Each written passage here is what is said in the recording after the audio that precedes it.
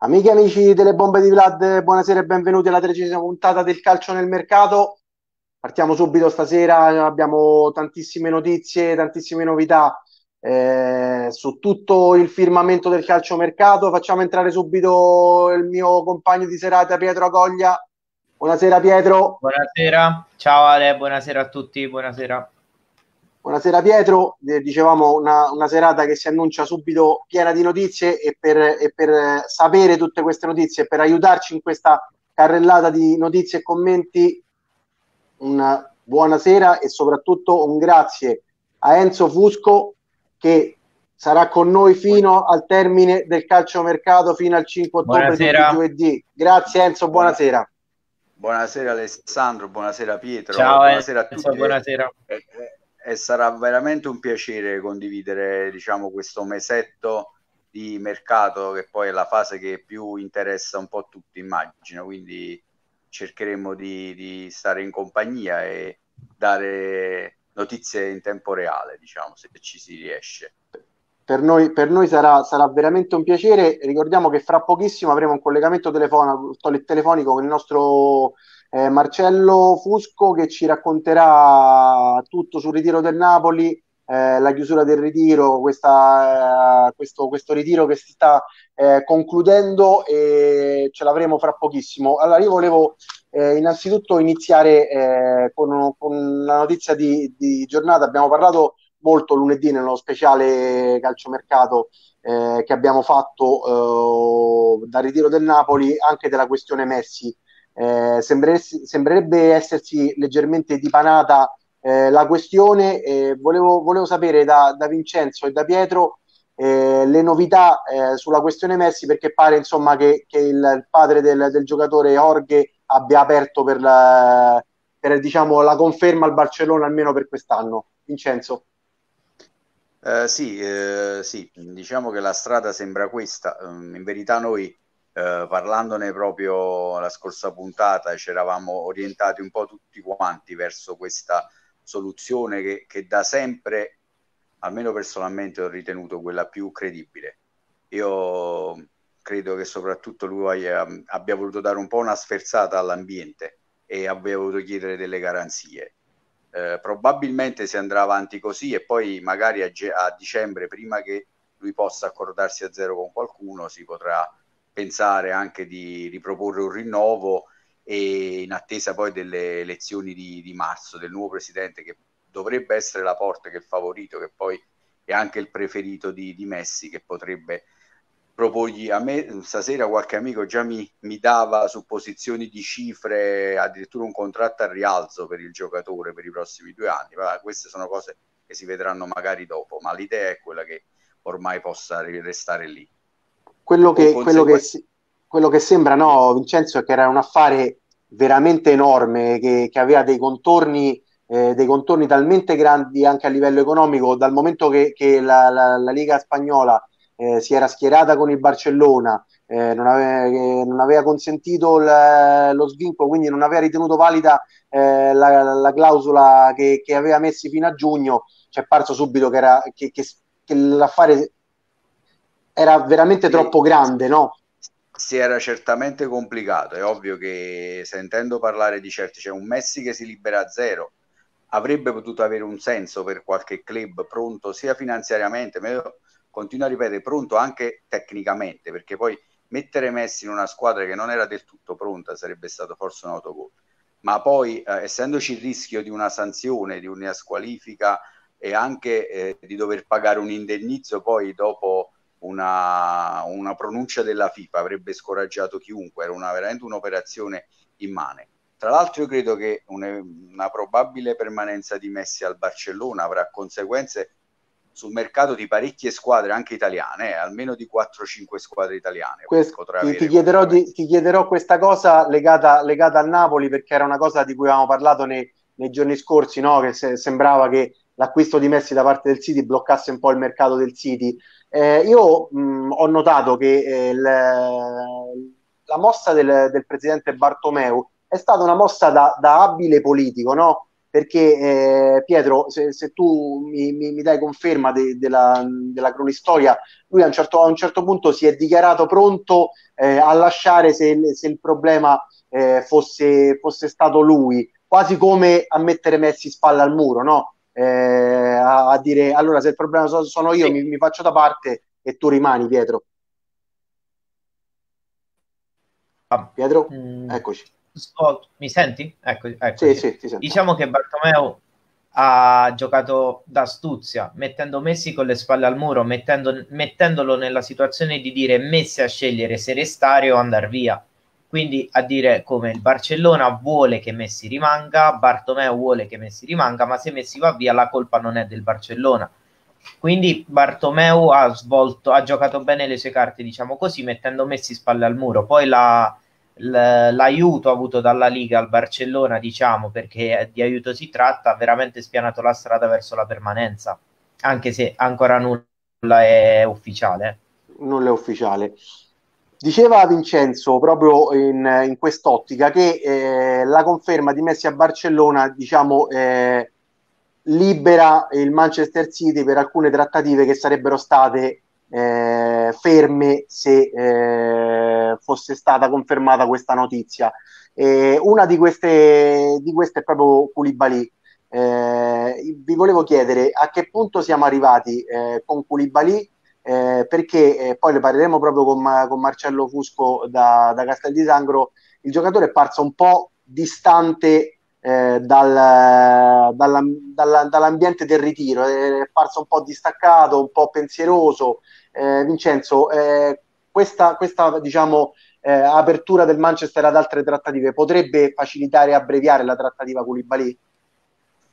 Uh, mi piacerebbe intanto fare una premessa, ma giusto per, um, perché ho letto anche da qualche parte uh, fare delle similitudini uh, tra quello che potrebbe essere un caso Koulibaly paragonandolo a quella che è stata un po' la questione Allan. Allora, ci terrei a dire che sono due cose nettamente diverse, sia per il carattere del, dei due giocatori in questione, sia per il contratto in essere che avevano i due giocatori, perché Allan guadagnava una cifra e Koulibaly a Napoli ne guadagna un'altra, e sia per la lunghezza del contratto. Questo lo dico giusto come previsione a dire che nel caso ad oggi diciamo ancora improbabile eh, che Koulibaly resti, perché diciamo, siamo sempre orientati al fatto che vada, eh, bisogna essere certi che poi il ragazzo saprà calarsi diciamo nella stagione perché è un professionista, un ottimo ragazzo, sta bene a Napoli e guadagna bene. Quindi questo suo disagio nasce da un'incertezza ma, no, ma, non dall'infelicità di dover stare a Napoli. Sì, sì, no, no, no, magari... questo, questo, è giusto eh. sottolinearlo, Vincenzo. Giusto eh, sottolinearlo no, perché, perché... molti tifosi possono fraintendere. Cioè, il ragazzo, se gli venisse comunicato oggi, se fuori dal mercato resta a Napoli, probabilmente questo stato di disagio lo supererebbe. Esattamente, è stato è giusto da parte tua, eh, da parte tua sottolinearlo. Eh. Detto questo, è ovvio che adesso il City, eh, diciamo, qualora diventasse ufficiale questa permanenza di Messi eh, al Barcellona, avrebbe eh, campo più libero anche finanziariamente, eh, oltre che strategicamente, per dedicarsi a questa che per loro era comunque una trattativa importante. Perché la realtà dei fatti dice che eh, diciamo, loro sono fermi a un'offerta di 10-15 giorni fa che è sempre la stessa, che per quello che mi risulta, nonostante quello che leggo, fa fatica ad arrivare ai 70 milioni con i bonus e anche sotto, a me mi dicono intorno ai 67-68 e vorrebbero pagarlo in cinque esercizi, cosa che proprio ho detto è lontanissima dalle idee di, De Laurentiis, più ancora che la cifra che viene proposta. Quindi si spera che adesso riescano a fare quello sforzo, io dico che mancano una decina di milioni, insomma, e naturalmente a pagare in un periodo un po' più breve, almeno in tre anni. Diciamo eh, che, che probabilmente, come hai detto tu, eh, erano un po' impegnati in, altre, in altri pensieri. Esatto eh, grandi e magari adesso eh, il, il, pensiero potrebbe eh, ritornare su Koulibaly. Eh, Pietro, oggi ci sono state delle dichiarazioni di, di De Laurentiis che eh, hanno un po' eh, confermato questo, diciamo questo, questo mettere Koulibaly sul mercato, ma soprattutto hanno detto cosa? quasi quasi un pentimento per non aver venduto prima i giocatori quando, quando era il momento, no? perché le quotazioni poi cambiano eh, i momenti storici del calcio e dell'economia in generale possono variare e poi ci si ritrova con, eh, con, con dei rimpianti. Pietro, quali sono state le dichiarazioni di, di, di Laurentis oggi a Radio Quischis? Sì, eh, prima della spuriata finale De Laurentiis ha eh, ammesso di aver in un certo senso anche sbagliato nel passato a non cedere subito quei giocatori che stavano facendo una grande stagione a fronte di un'offerta importante. Diciamo la classica frase bisogna battere chiodo finché è caldo, quindi De Laurentiis forse ha sbagliato a non cedere Allan quando aveva una valutazione molto importante, anche se dalle sue stesse dichiarazioni non erano cifre esorbitanti che sfioravano i 100 milioni, ma erano cifre molto più basse. Come Enzo, tu sei stato uno dei primi oggi a, a, a sottolineare esatto. questa cosa, Enzo, no? Cioè che erano sì, cifre sì, sì. ben lontane da quelle che, che erano... Da, eh, da quegli 80-90 milioni, sì. Eh a volte si accendono le, le, le, fantasie e le polemiche per, per, cifre che circolano completamente fuori luogo, considerando che Allan un anno e mezzo fa, perché parliamo a gennaio 2019, era stato ammortizzato per tre anni e mezzo, mentre adesso era, è completamente ammortizzato perché era al quinto anno di permanenza. Il Napoli quindi in tutto... cinque anni. È tu, quindi è tutta plusvalenza. C'è anche questa tutta differenza di, di, almeno altri 2-3 milioni, per cui se vai a, a raffrontare le due cifre ormai sono quasi simili quindi l'operazione Allan tutto sommato non porta un grande eh, disagio economico rapportato a un anno e mezzo fa. E Pietro, quindi per, per chiudere, lui eh, si è diciamo quasi quasi pentito di non aver, eh, di non aver venduto quando era il momento, esatto. no? E anche, anche ammesso, e anche ammesso che magari adesso venderà un giocatore anche un anno dopo uh, averlo comprato. Quindi proprio per sottolineare il fatto che non vuole più farsi trovare impreparato e quindi trovarsi in altre situazioni come può essere quella di Alan, come può essere nel piccolo in maniera diversa anche la situazione Koulibaly, perché Koulibaly un anno e mezzo fa aveva una valutazione molto più importante rispetto a quella di cui stiamo parlando adesso. Allora, poi vogliamo, eh, voglio fare eh, rendere subito tranquillo Giuseppe D'Alterio che ci sta scrivendo abbastanza accalorato sia su, su Messi, a lui non gli interessa né di Messi né di, di niente altro che, che, del, del, de, de, che, del, Napoli, quindi lui vuole sapere adesso sulla questione Milik, sì, perché sta veramente avvelenato sulla questione mercato Napoli, allora noi vogliamo subito tranquillizzarlo e, e voglio, voglio, chiedervi, e, soprattutto iniziando da Vincenzo, eh, siamo arrivati a, a, un punto importante per la trattativa tra Milik, eh, Roma, eh, Under, eh, Napoli. Eh, faccio, faccio, dire a Pietro un attimo un cappello eh, sulla no, sullo, sul, diciamo, sulle nostre, nostre ultime notizie e poi chiedo a Vincenzo un commento. Sì, allora, proprio in, nella giornata di ieri abbiamo riportato una nostra eh, esclusiva eh, in cui davamo quasi per fatta la trattativa tra Milik e la Roma. Uh, Milik si è convinto di uh, accettare la Roma e uh, quindi sembra propenso a trasferirsi nel club, nel, club, capitolino. Ehm, a Napoli quindi dovrebbe arrivare Under. Cengiz Under è la carta scelta dal Napoli come contropartita per il polacco a fronte di un corrispettivo che dovrebbe aggirarsi intorno ai 15 milioni di euro. Um, diciamo quindi che lo scambio è a buon punto e uh, la trattativa sembra davvero ben avviata. Questo poi potrebbe aprire anche altri scenari, però diciamo che per il momento la trattativa è ben avviata e uh, la fumata bianca può essere abbastanza vicina. Noi ieri abbiamo scritto che dalla trattativa eh, sarebbe uscito il giovane Ricciardi, oggi è stato confermata eh, da, sia da Sky eh, che da altre testate che il giocatore sarebbe stesso, in, eh, in, prospettiva Pescara, del presidente Pescara. del Pescara. Eh, Enzo, è la trattativa, diciamo, è rientrata nel, nell'ordine di, di, di, idee che ci eravamo prefissati, cioè con, con Milik a Roma, un Der, un corrispettivo dei 15 milioni, ci siamo come, come trattativa? Sì, le, le, notizie che arrivano sono, sono queste. Anzi, ti dirò ehm, che ehm, probabile che questa trattativa eh, possa essere allargata già da subito anche, anche a Veretù, eh, perché eh, pare si stia trovando una quadra anche sulla valutazione di quel giocatore. E, ed è ovvio che eh, dando delle valutazioni adeguate che accontentino sia la Roma che il Napoli a tutti e tre i giocatori, facendo un'operazione allargata eh, la Roma ne potrebbe ricevere un vantaggio perché a quel punto sarebbe la Roma a ricevere il famoso conguaglio, si capovolgerebbe un po' la cosa e questo probabilmente renderebbe la, renderebbe la Roma ancora più serena nel fare questa, questa operazione. Quindi è possibile addirittura che la trattativa abbia questo sbocco veloce e che addirittura eh, entrambi i giocatori in breve tempo possano eh, passare al, al Napoli. Eh, normale che eh, eh, si batte soprattutto su Milik e Under, però pare che, mm, ripeto, mi arrivano notizie che eh, anche per Veretù la cosa sta prendendo un'accelerata. Su, su, Vere, su, Veretù la, su, Veretù la, Roma fa una valutazione eh, che eh, partiva da, dai famosi 30 milioni che dicevamo la scorsa sì, settimana sì. E diciamo che, che, che, potrebbe, come, abbiamo, come aveva detto anche Francesco Romano, eh, l'inserimento di qualche contropartita potrebbe abbassare eh, la, la, la, la, quotazione, però eh, diciamo che, che, al momento eh, il Napoli ha bisogno di, di un centrocampista, no? con l'uscita di Allan eh, il Napoli ha bisogno di un centrocampista.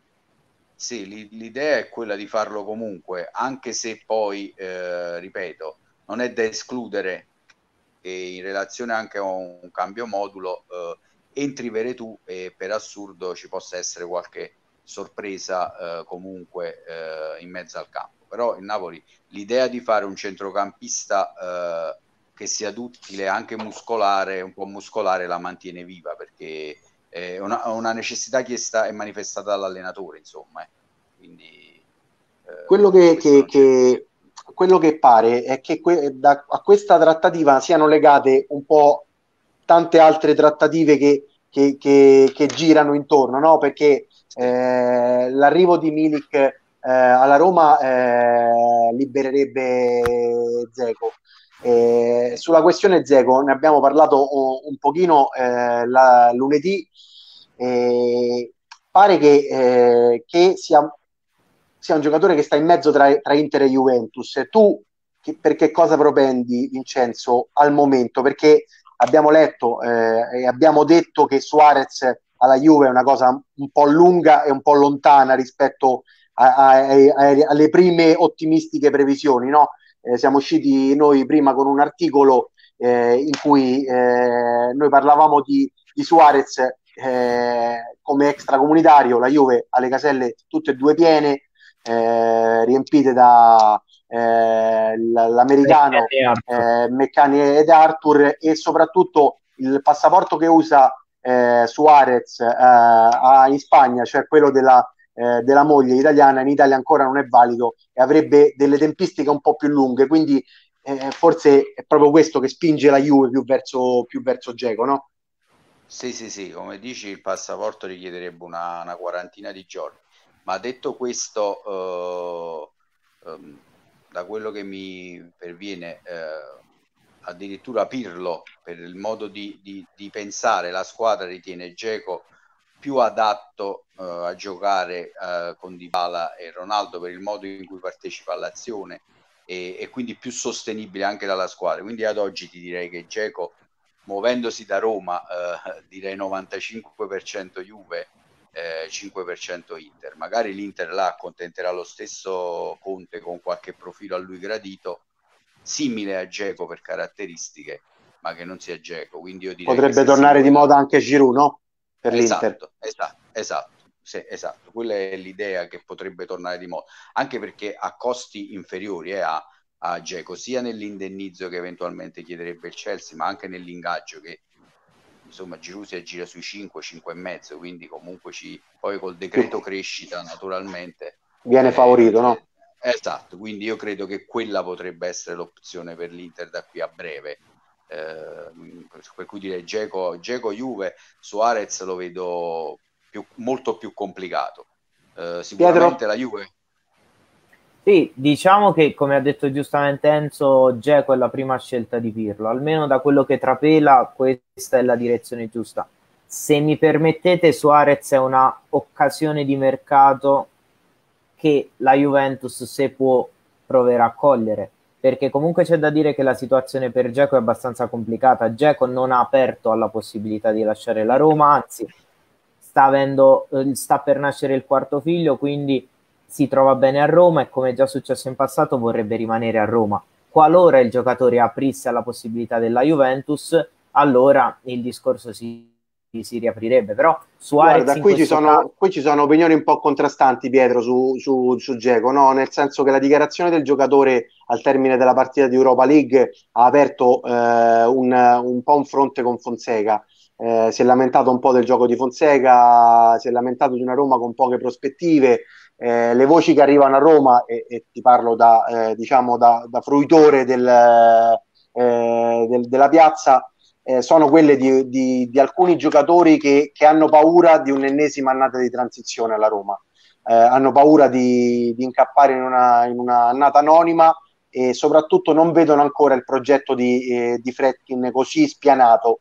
Eh, ora, eh, è chiaro che la Juve poi diventa un'occasione, una, una, una possibilità che, eh, che, viene, che, che, viene, una volta sola per alcuni giocatori e quindi probabilmente poi si, si, con, si, con, diciamo, eh, si farebbe convincere facilmente Geco dalla, dalla, proposta della Juve, secondo, secondo me.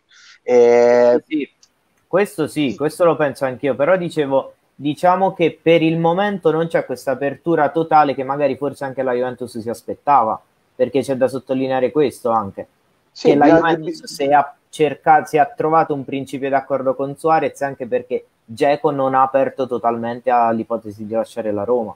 Diciamo che è un po' un, come, come diceva Enzo, è un po' un, uh, un circolo che deve partire, no? un effetto domino che poi eh, basta una, una, una, diciamo, una pedina che si muove e si porta appresso tutti gli altri. Eh, vi volevo chiedere una cosa. Scusami, scusami vai, vai, vai eh, volevo, volevo, aggiungere una cosa che eh, avrei voluto dire prima. Eh, su Suarez un'altra complicazione eh, potrebbe essere proprio l'eventuale permanenza di Messi al Barcellona, eh. perché pre- penso che se Messi resta lì Suarez fa un altro anno a Barcellona, eh. penso che non si muove più. Io ho quest'idea. Quindi potrebbe, potrebbe essere una richiesta dell'argentino quello di, di confermare Assol- Suarez. No? Ecco, questa è una cosa su cui scommetterei anche un 100 euro. Ecco. Diciamo che se eh. Messi resta là, una delle prime cose che potrebbe chiedere è proprio la conferma di Suarez, sia per il rapporto di amicizia, ma anche per il calciatore che è, naturalmente. E poi eh, questo anche magari senza rinnovo, ma un altro anno.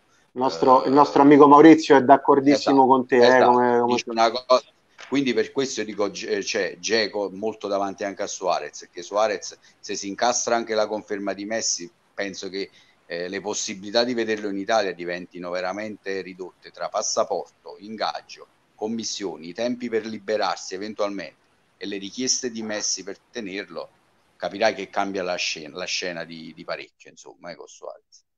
Prima parlavamo di Koulibaly e, e vi, volevo, vi, volevo, chiedere una cosa. Sì, Pietro, va bene. Eh, vi volevo chiedere una cosa, eh, Koulibaly, eh, la vendita di Koulibaly, eh, al momento diciamo la permanenza di Koulibaly a Napoli blocca eh, un'altra serie di affari che potrebbe sbloccarsi.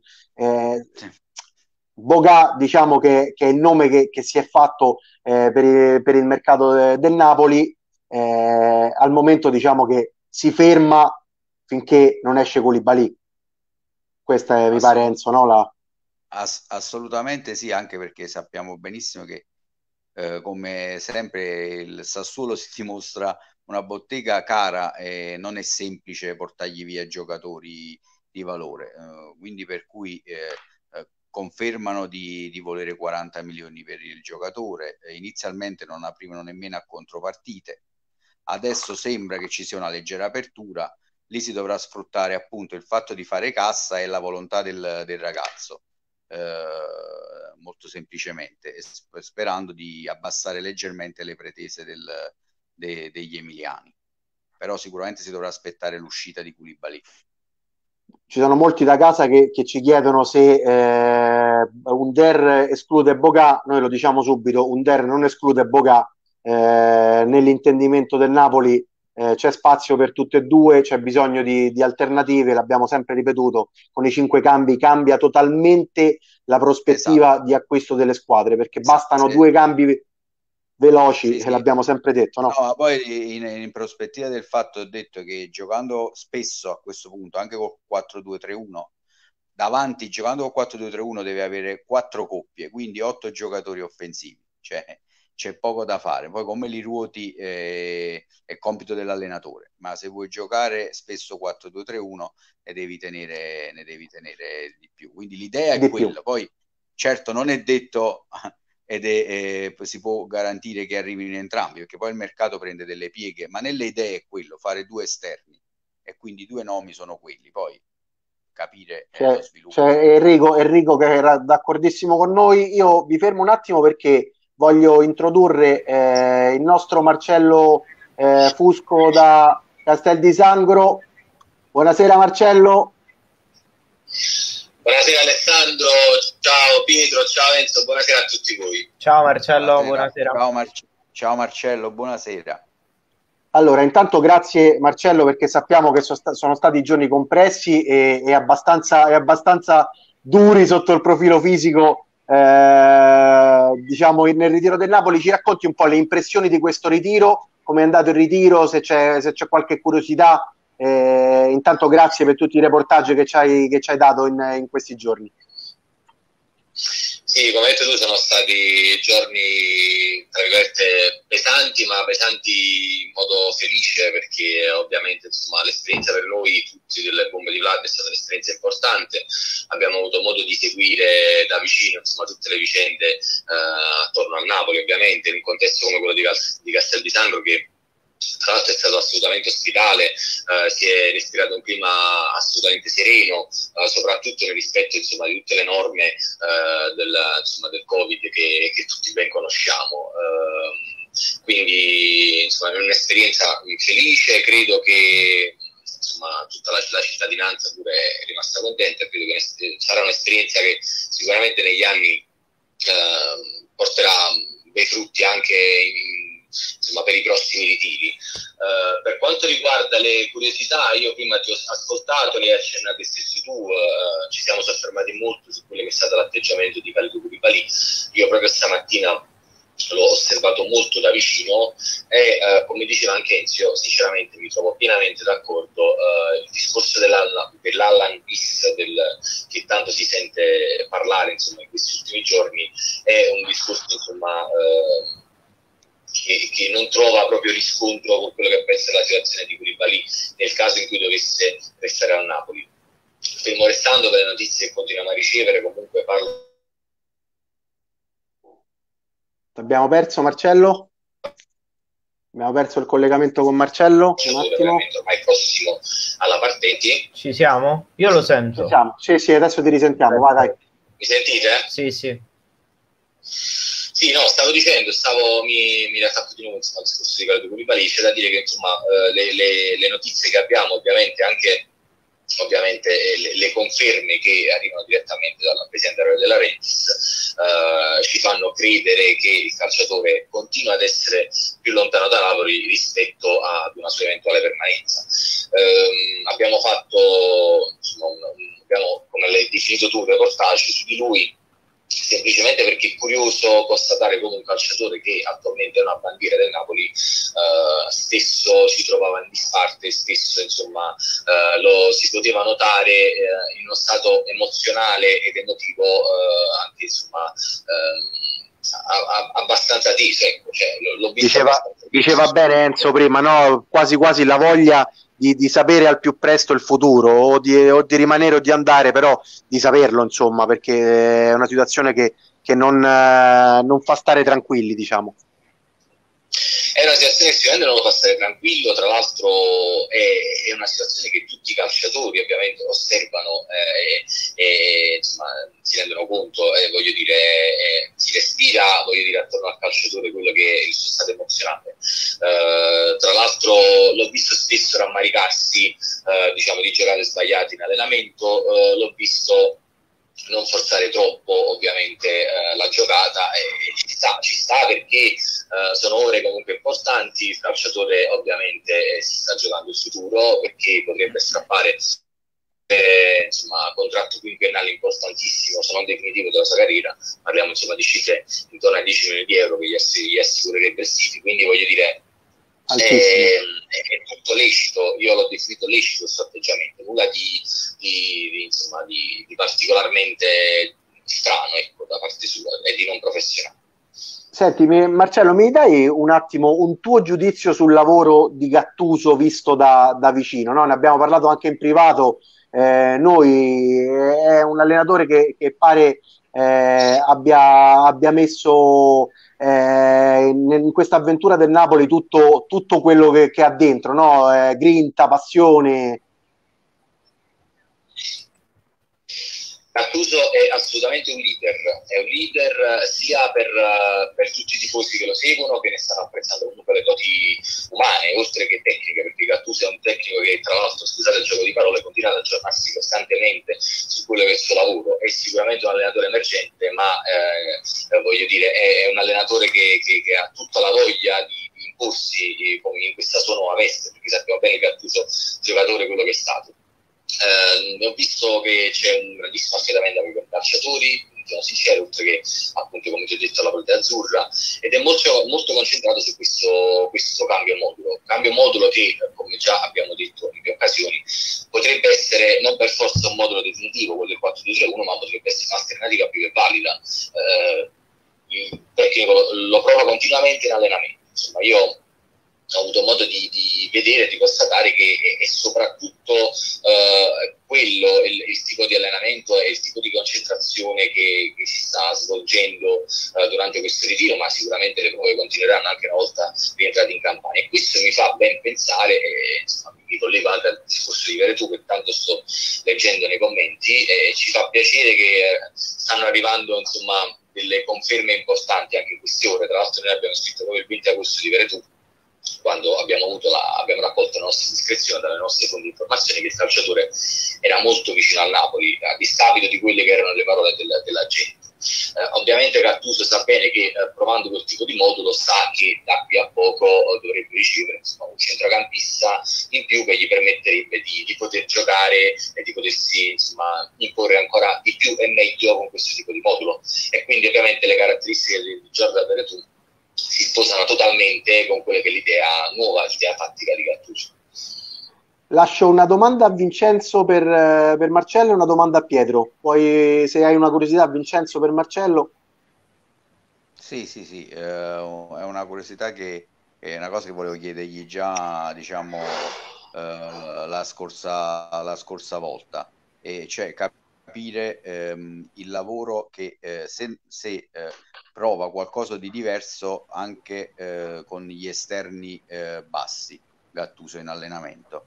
Perché la, eh, la, mia idea è che provando col 4-2-3-1 eh, grande equilibrio devono dare i due esterni bassi e gli, est- e gli esterni alti soprattutto quando si tratta di accorciare e scappare indietro.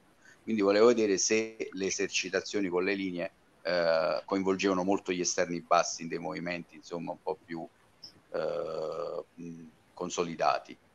Tutta una rapidità a, a trasformarsi in 4-5-1 velocemente, no? Esatto, perfetto, perfetto, perfetto, esatto. Marcello.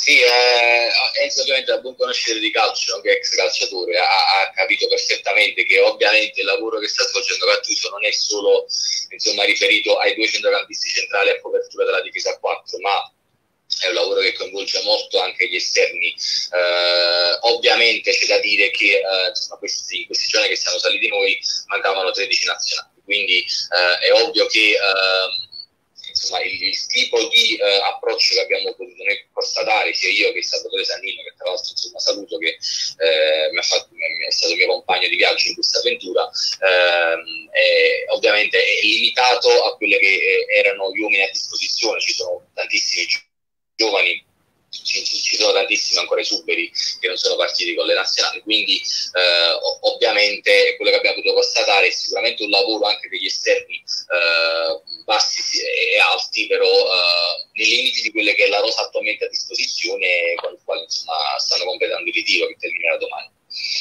Invece Marcello, per chiudere la mia domanda, è relativa alla porta eh, anche le foto esclusive mandate da te da Salvatore abbiamo visto che Valerio Fiori è il nuovo preparatore dei portieri, quindi volevo chiederti come si è mosso lui e come si sta muovendo il Napoli, comunque visto che sappiamo che esiste ancora questo dualismo tra Meretti e Ospina, quindi qual era il clima che si respirava attorno a questo dualismo?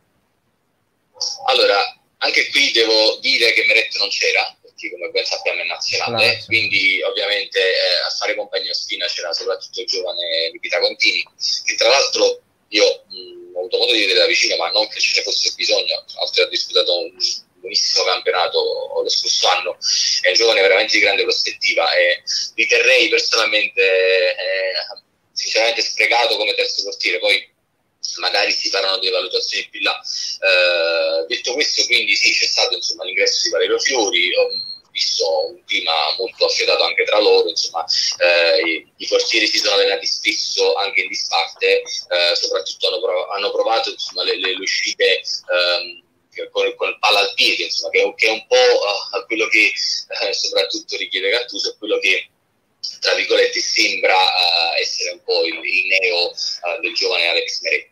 Attualmente ovviamente per quanto riguarda i riscontri di mercato che abbiamo, continuiamo ad avere, ovviamente questo è un dualismo che c'è uh, solo cioè, è relativo sostanzialmente perché il tecnico ha le idee abbastanza chiare. Attualmente continua a vedere eh, ovviamente più Spina come eh, titolare che Meret, ma questo non vuol dire che nel corso dell'anno non ci possa essere di nuovo un cambio di gerarchie, voglio dire, è, la, è una sana competizione che ci può essere, tra l'altro il Napoli eh, non, non, ha minima intenzione di cedere il calciatore, quindi tutte le voci che continuano a girare attorno insomma, al futuro di Alex Meret vanno stroncate. Ovviamente la gente del calciatore fa anche gli interessi dello stesso Alex Meret, però eh. il Napoli non può cederlo, non credo che, che verrà ceduto in questa sezione, quindi si proseguirà così e poi si vedrà quale tra i due continuerà ad essere più titolare dell'altro, diciamo così. Marcello, grazie tantissime, eh, buon riposo, eh, ti, ti, ti, aspettiamo in live già da giovedì prossimo, grazie ancora per tutto quello che, che hai fatto in questi giorni da, da Castel di Sangro. Grazie Marcello, un abbraccio. Ciao Marcello, un abbraccio. Presto. Un saluto ad Enzo e a Pietro e Alessandro, un abbraccio. Ciao Marcello, buona Ciao, serata.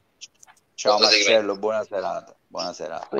Intanto, come ha detto Marcello, salutiamo anche il nostro Salvatore Sannino che è stato protagonista insieme a lui di questo ritiro e, e, e, ci, ha, e ci, ha, deliziato con, alcuni interventi dal nostro amico Francesco Molaro eh, da Club Napoli On News ogni pomeriggio dal, da Castel di Sangro. Io proprio per chiudere un attimo la questione eh, Koulibaly, eh, si è parlato eh, molto di, di, dei possibili sostituti, eh, c'era un accordo eh, del Napoli con Lille per, per Gabriel Magallanes che è andato al, all'Arsenal e sono girati un po' di nomi. Mm, ti ho letto oggi Enzo e chiaramente eh, concordo con, con te quando dici bisogna stare attenti a dire eh, è fatto, è chiuso, eh, la trattativa è chiusa, eh, stiamo parlando di, eh, di Senesi, eh, è una trattativa che, che, è ancora ben lontana da essere chiusa, il giocatore, eh, l'abbiamo detto, interessa a Napoli, è un giocatore che è sul taccuino del Napoli,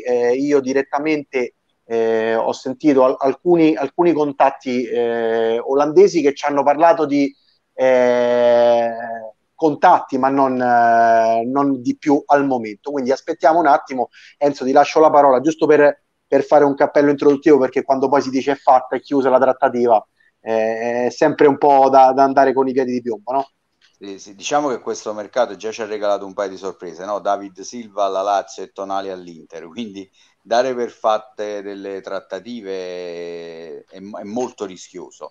Eh, sicuramente è un calciatore che piace eh, non poco, aggiuntoli che lo segue da prima che andasse al Feyenoord, se vogliamo essere precisi. Quindi è un giocatore che lo scouting del Napoli eh, osserva almeno da un annetto e mezzo. Uh, il Feyenoord mh, mm, sembrerebbe addirittura non avere intenzione di venderlo. La Miglior difensore del, del, campionato, del campionato olandese. Perfetto, perfetto, perfetto. Uh, quindi eh, naturalmente non sarebbe una trattativa semplice. Ehm, se si vuole eh, fare un punto un po' sulla difesa, dovremmo dire che eh, a, a, onor di cronaca il, il, giocatore più vicino è realmente Socrates, ma per una questione di, di, opportunità, e cerco di spiegare, perché poi qualcuno mi dice come si fa a pensare di sostituire Koulibaly con Socrates. Allora, eh, eh, Socrates è un calciatore che mh, il Napoli eh, diciamo, a, attenziona e, e vorrebbe bloccare per un semplice motivo che nell'incertezza di sapere ancora se Koulibaly uscirà e quando, blocchi un profilo esperto, non costoso in termini di cartellino, che laddove Koulibaly si bloccasse la cessione, tu puoi prendere ugualmente facendo uscire Maximovic. Quindi non sprecando la vendita di Max- Maximovic da cui puoi prendere circa una ventina di milioni andando a prendere il senese di turno dove devi investire l'intera cifra.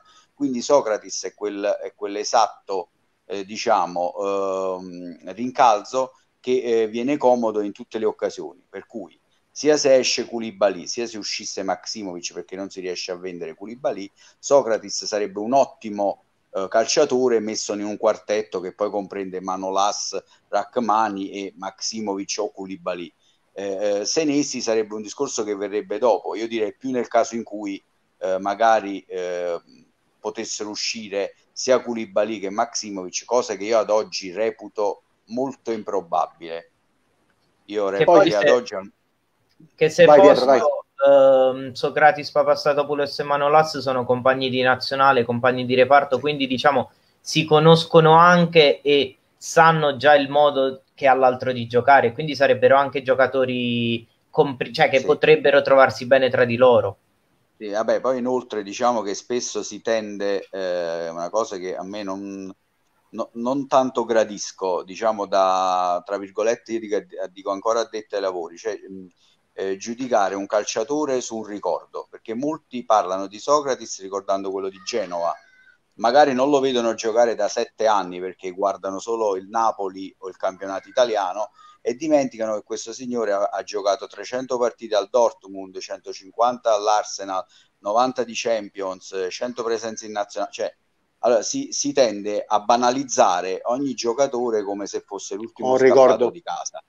Ma, ma io, dico, io dico magari uno solo dei quattro difensori del Napoli avesse la carriera di Socrates, apriremmo le bottiglie di, di champagne.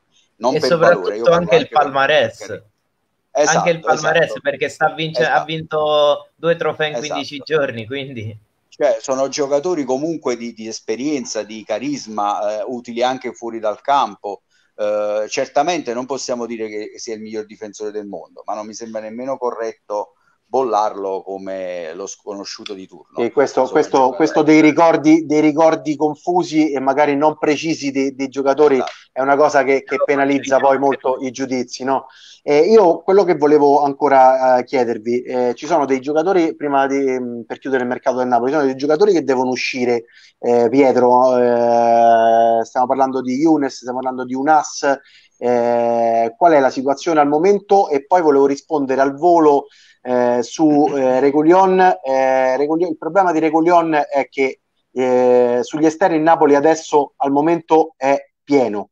Esce qualche esterno, si potrà fare un altro esterno. Se non esce, se non esce un esterno, difficilmente si andrà a comprare per una cifra così alta finché non si vende Koulibaly un giocatore da 30 milioni, come diceva Enzo prima. Cioè, bisogna un attimo anche regolarsi per, eh, eh, diciamo le, le, gli esborsi economici. Pietro, se mi fai un attimo un recap su eh, Unas, su Younes e su Gulam.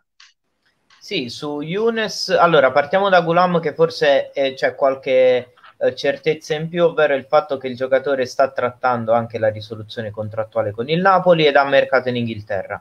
Quindi, qualora il giocatore decidesse di lasciare Napoli, la Premier League sarebbe il primo campionato a cui aspirerebbe.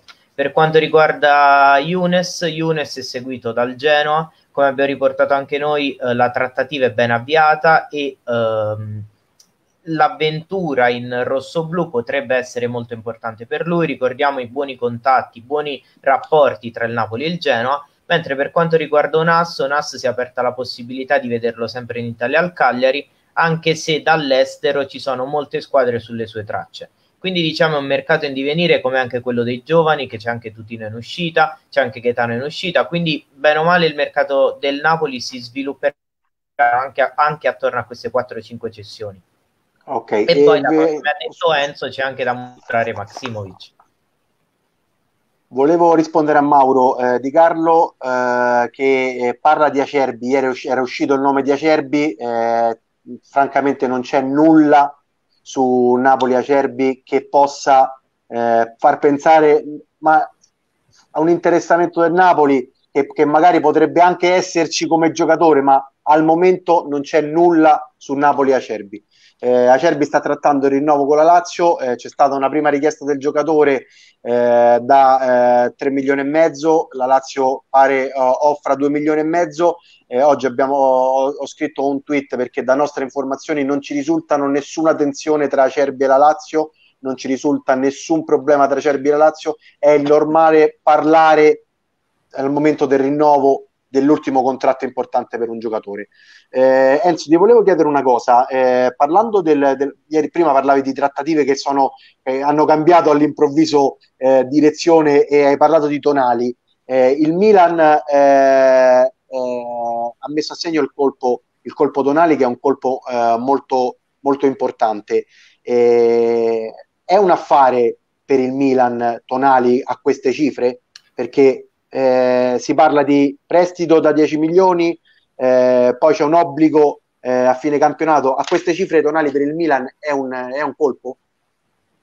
Allora, eh, se ci soffermiamo sul, sul, sul, ragazzo, sul giocatore, sulle prospettive, eh, assolutamente dovremmo dire che eh, è un buon acquisto. È ovvio che se poi andiamo a parametrare queste cifre ad altri acquisti che si fanno anche in Europa, di giocatori sì eh, leggermente più esperti, ma di gran valore. Faccio l'esempio de, di Van de Beek che è andato al, dallo United per 39 più 5-6 di bonus.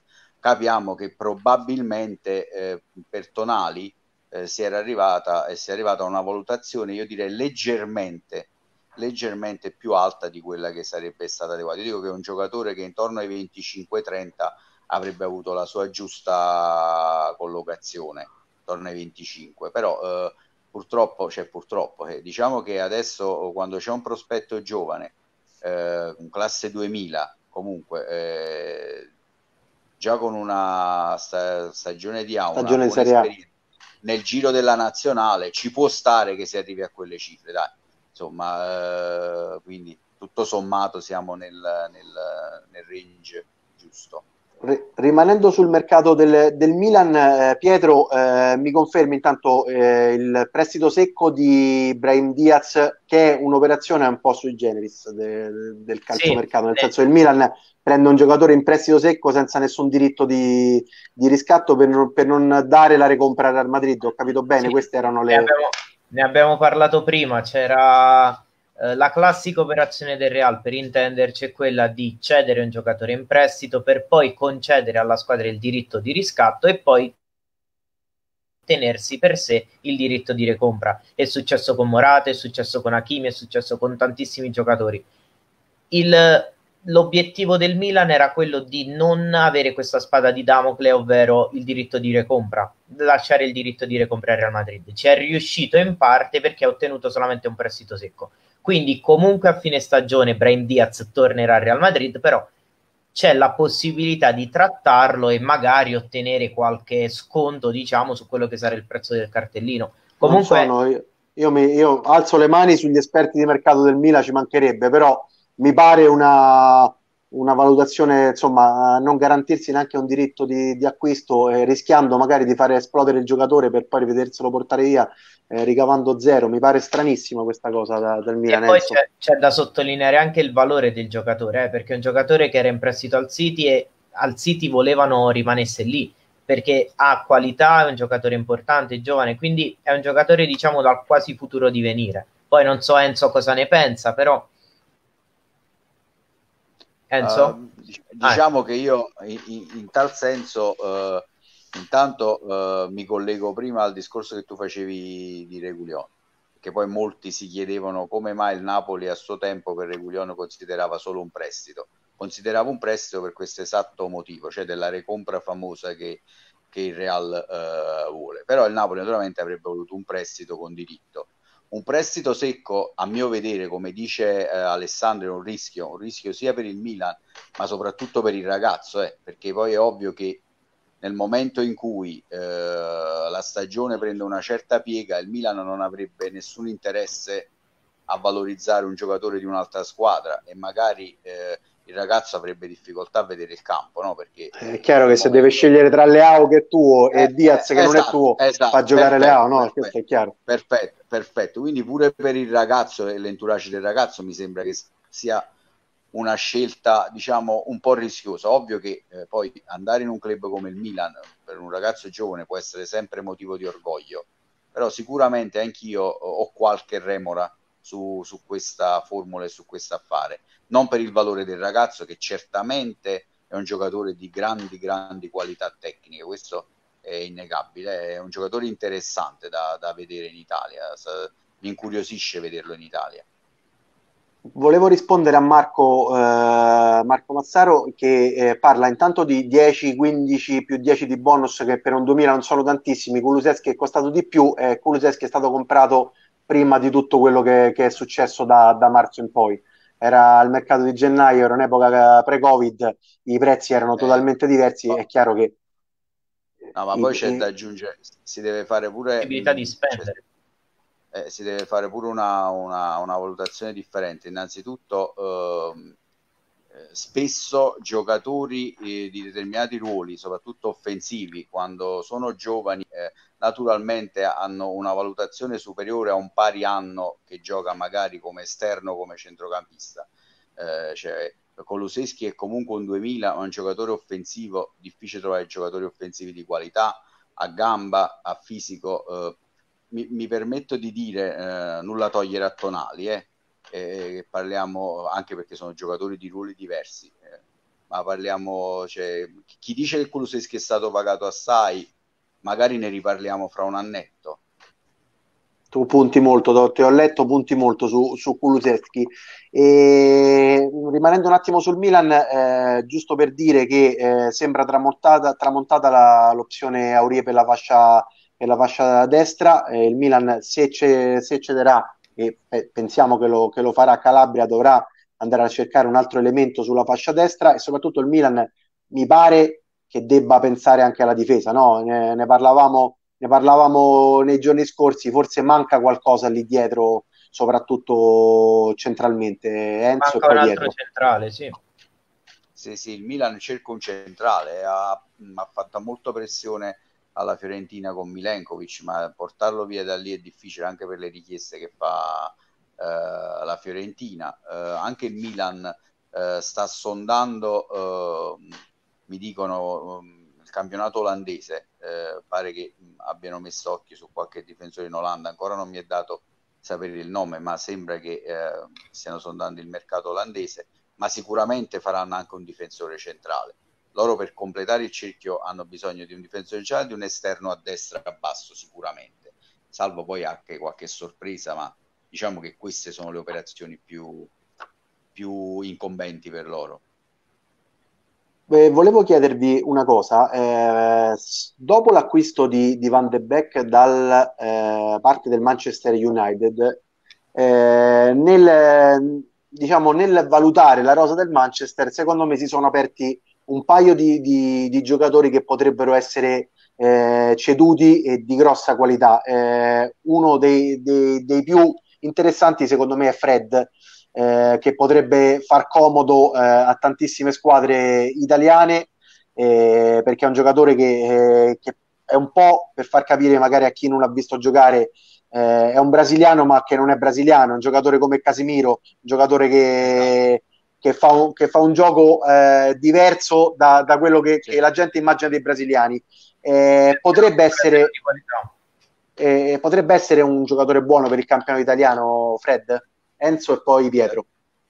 Ma adesso se tu, non so se ieri hai avuto modo di leggermi, io ieri ne ho parlato eh, di Fred, manco a farla apposta, parlando della Roma, parlando di Smalling, so che la Roma, parlando di Smalling, ha chiesto informazioni su Fred. Eh, eh, naturalmente Fred è un giocatore che il Manchester ha pagato tanto eh, lo scorso anno, quindi pensare di cederlo sarebbe una misvalenza certa e si è iniziato a ragionare su un'idea di un prestito con la Roma. Eh, quindi sicuramente ci sono possibilità in Italia perché la Roma ci parla con il Manchester e parla di questo giocatore. Di altre squadre non ho notizie, ma sicuramente posso dire che la Roma eh, ha chiesto informazioni sul ragazzo e ragiona su un prestito. Eh, quindi non è da escludere che lo possiamo vedere in Italia. Pietro?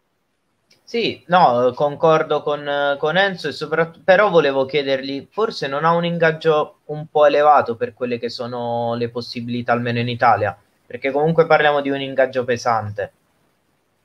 Sì, vabbè, è eh, ovvio che qua... eh, dici, dici, dici, vai Alessandro, vai poi dopo. Sì, sì, diciamo un ingaggio pesante, però al momento del prestito poi dopo si discute un attimo come, esatto, come gestire esatto. anche la, il peso dell'ingaggio, no? Come Perché... è successo per Sanchez, sì come è stato per Sanchez, esatto, perfettamente. È ovvio che la Roma chiederebbe anche diciamo, un aiuto da quel punto di vista, ma eh, consentirebbe al ragazzo di giocare, di rimettersi in mostra e magari ecco, poi l'anno successivo eh, discutere su un prezzo di un riscatto. È ovvio che quell'ingaggio così com'è la Roma lo potrebbe sostenere, però eh, è, un, è una, un discorso che poi va affrontato con il club di appartenenza.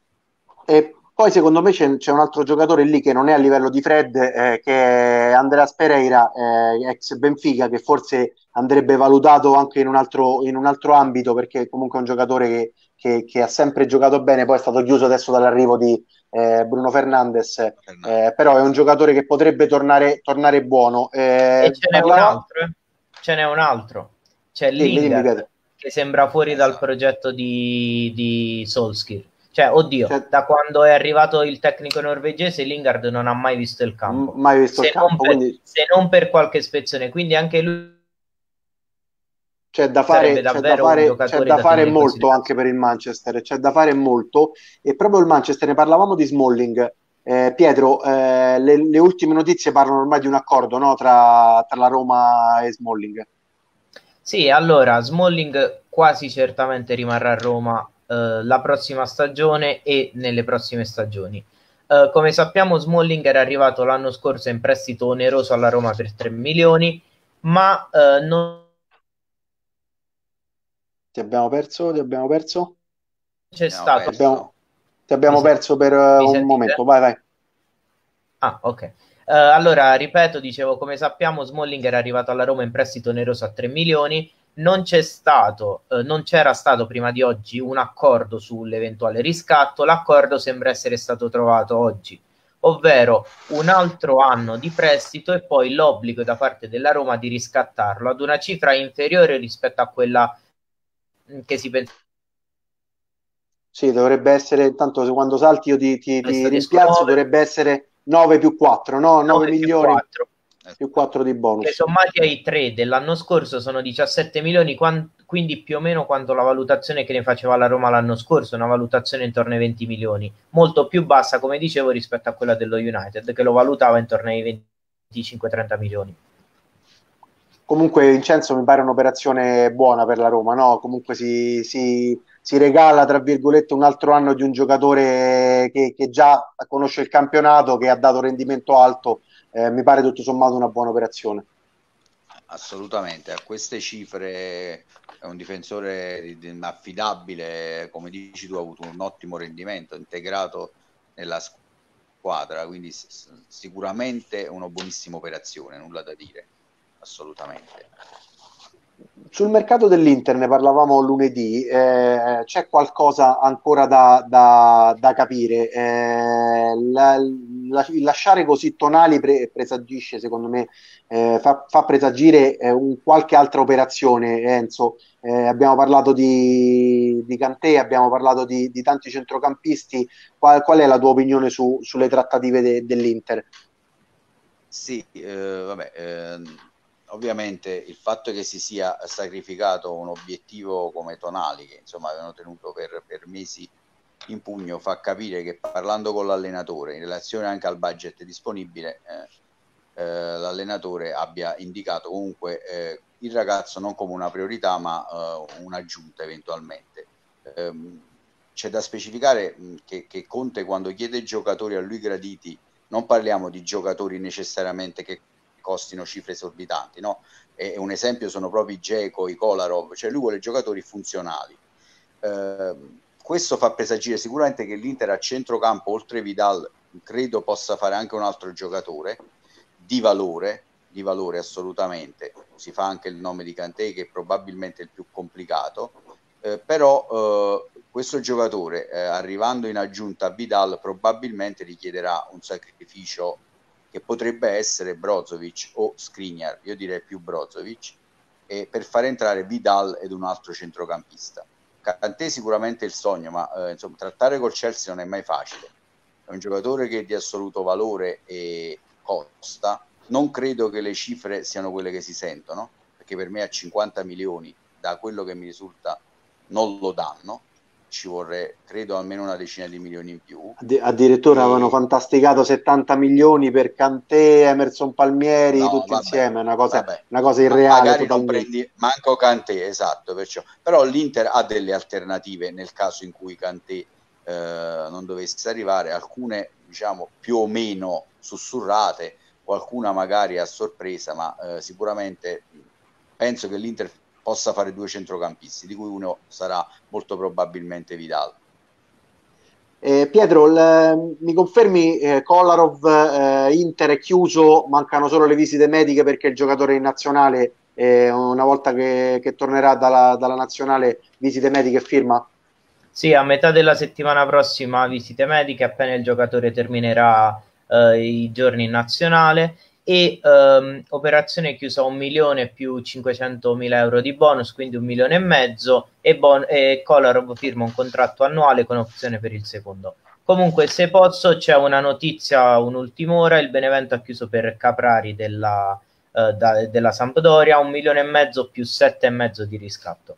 Quindi altro Bene... colpo in attacco del, del Benevento. Benevento sta, sta, costruendo una squadra, sembrava all'inizio fosse partita con eh, giocatori di nome però un po' avanti con gli anni, poi piano piano, piano ha, ha, cercato di mettere, eh, di mettere, a fuoco gli obiettivi. Caprari secondo me è un giocatore che potrebbe, potrebbe far bene a Benevento e che parte comunque da, da una buona base, no Enzo? Sicuramente, il Benevento è già una squadra comunque...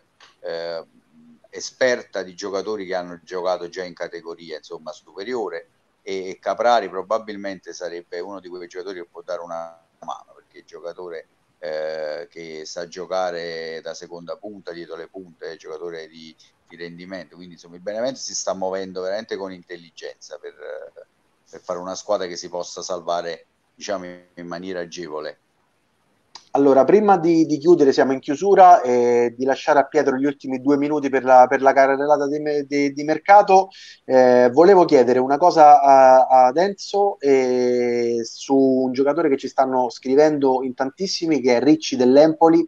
Ci chiedono tutti dove andrà Ricci dell'Empoli, che è un giocatore eh, che, che, ha fatto un grande campionato di, di, di, di B e, ed è appetito da molte squadre. Quindi ti chiedo Enzo di Ricci dell'Empoli, poi eh, dirò io due cose sulla, su, sulla Lazio che, che, sembra aver chiuso eh, per un giocatore e poi lascio a Pietro la carrellata finale. Enzo. Guarda, Ricci è un giocatore che è stato sul taccuino di tante squadre, ti, ti posso dire con certezza che insomma l'ha, l'ha seguito il Milan, eh, il Napoli, e la Fiorentina ehm, il ragazzo rispetto ad alcuni progetti ha il suo entourage in verità, eh, non il ragazzo, ha, ha mostrato perplessità eh, per paura di non avere un adeguato minutaggio. Eh, al momento, ehm, se dovessi dirti, credo che la squadra che abbia chance di prenderlo è la Fiorentina. Non so se per portarlo subito a Firenze o magari lasciarlo lì un altro anno in prestito, però è un progetto che sembra tagliato e gradito anche al ragazzo perché eh, tra l'altro veramente eh, lì eh, anche se andasse subito probabilmente avrebbe la possibilità di ritagliarsi un buono spazio. Ovvio che se andasse al Milan dove c'è più concorrenza al Napoli con Zelischi, Elmas, Fabian sai il minutaggio potrebbe essere più limitato. Più basso. un giocatore interessantissimo tra l'altro. È veramente un giocatore da grandissima prospettiva per, per, chi l'ha visto, sì, veramente un giocatore di grosse prospettive. Voglio un, un, pronostico secco tra, nella situazione Torreira tra Fiorentina, che pare tornata ancora in vantaggio, e Torino, eh, tra, da Enzo e da Pietro. Eh, noi abbiamo avuto eh, Torreira testa a testa Torino-Fiorentina, un giorno davanti il Torino, un giorno la Fiorentina. Enzo, secondo te? Per me Fiorentina anche perché so che sia la sua preferenza comunque. Pietro? In questo momento direi Fiorentino. Bene, allora la Lazio eh, eh, ieri ha trovato l'accordo con la spalla per eh, il laterale sinistro Fares, eh, sono riusciti Lotito e Mattioli a mettersi d'accordo, il totale dovrebbe essere sui 10 milioni e mezzo, eh, a fine settimana, eh, massimo inizio della prossima, sono attese visite mediche e firme, per quanto riguarda l'affare Murichi ancora siamo eh, in una situazione paradossale. Dalla, dal, dalla Turchia arrivano eh, notizie di accordo di, di, giocatore pronto ad arrivare a Roma, poi passano giorni senza più notizie, è un, è un, eh, un affare da, da, seguire, ancora non si hanno, eh, non si hanno certezze. Eh, Pietro, ti lascio gli ultimi due minuti eh, per la carrellata di mercato e poi ringraziamenti finali. Sì, allora innanzitutto parto dalle ufficialità. Timothy Castagna è ufficialmente un giocatore dell'Eister, prende il posto di Ben Chilwell passato al Chelsea. La seconda ufficialità di giornata, ovvero di 20 minuti fa, è quella di Lisandro Magallan, eh, Magallan al, al, Crotone, arriva dall'Ajax. È ufficiale anche il ritorno al Real Madrid di, del terzino Driozola dal Bayern Monaco. Il Bayern Monaco non ha esercitato il diritto di riscatto e quindi il giocatore torna alla corte di uh, Zidane ed è ufficiale infine il rinnovo di Federico Bonazzoli con la Sampdoria fino al eh, 2025. Tra gli affari in chiusura ricordiamo quello di Romero vai, vai. all'Atalanta. Romero passerà all'Atalanta Romero passerà all'Atalanta con un prestito ed eventualmente diritto e poi obbligo di riscatto. Quindi, in base a determinate condizioni, Romero potrebbe diventare interamente un giocatore dell'Atalanta a fronte di un corrispettivo tra i 20 e i 25 milioni di euro. Uh, Ceballos, al, um, uh, all'Arsenal è fatta, quindi torna in prestito per un altro anno. Anche in questo caso senza obblighi, quindi stessa situazione di Brahim Diaz e infine trattativa One Jesus eh, Genoa eh, quasi in chiusura. Caprari l'abbiamo Mauro, detto. Mauro Di Carlo ti chiede Enzo Buonaventura eh, Fiorentina, Buonaventura che si avvicina alla Fiorentina. Benissimo, grazie Pietro. Eh, Mauro Di Carlo ci chiede, ti chiede Enzo, Soboslai è un, ferro- è un fenomeno, non verrà mai a Napoli? Ma questo non lo possiamo dire. Diciamo che il ragazzo ha manifestato l'idea di voler rimanere un altro anno là e, e giocare la Champions. Posso, posso dire con, con, grandissima certezza che è uno dei giocatori eh, più eh, amati e seguiti dal direttore sportivo del Napoli in questi due anni. Quindi, quindi, quindi ci, possono essere, ci possono essere possibilità. Assolutamente sì. Allora io vi ringrazio tantissimo, ringrazio Enzo che eh, ricordo a tutti e ringrazio ancora per essere, per, per essere, stato stasera con noi e per rimanere con noi fino al 5 ottobre ogni giovedì come ospite fisso della, della nostra trasmissione. Ringrazio Pietro, ringrazio Marcello che è intervenuto telefonicamente ci vediamo giovedì prossimo ancora con un'altra puntata del calcio del mercato. Grazie a tutti, buonanotte, buonanotte ragazzi. Buonanotte. Ciao Ale, ciao Enzo, ciao, buona serata. Ciao Pietro, ciao Ale, grazie. Ciao, ciao, ciao buonanotte. Ciao, buonanotte. buonanotte. massa.